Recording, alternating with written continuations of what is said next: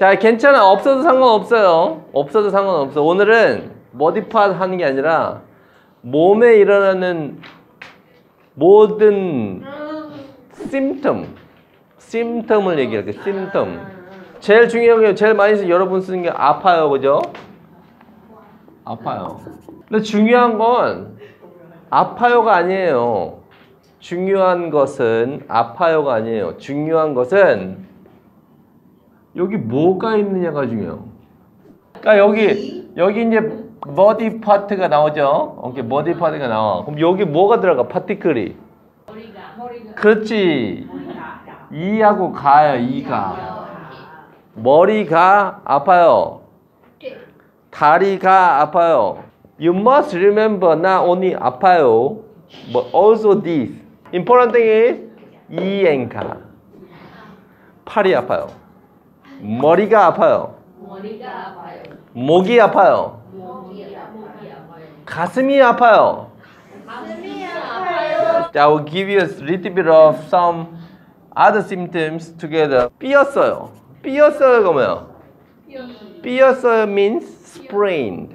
저는 발목을 삐었어요. 저는 발목을 삐었어요. I sprained my ankle.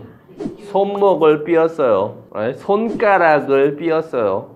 This is 어 뭐뭐뭐뭐에 걸렸어요. 에 걸렸어요 means infected. This one is not body part, it is a disease name. Like 감기. 감기 is flu or catch a cold, cold. 감기에 걸렸어요. So any disease they can possibly use is 암. 암 is cancer. 암에 걸렸어요. 제 친구는 암에 걸렸어요. Fever. That is not disease. Fever is not disease. The fever is one symptoms out of the body is is part of the any disease. So we don't say 걸렸어요. 나요 is like come out. This 나요 is no control. It is not you control it. It is naturally your body reacts to it. 열이 나요. You cannot like control yourself. I I want to have increased my fever.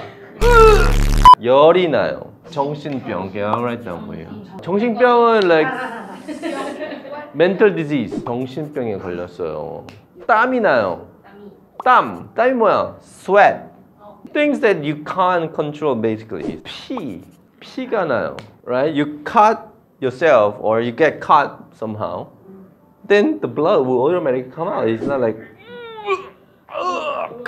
피가 나요. Sneeze. 재채를 하다. 기침. 기침 is cough. 기침이 나요.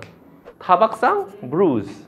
타박상을 입었어요. 어, 저는 다리에 타박상을 입었어요.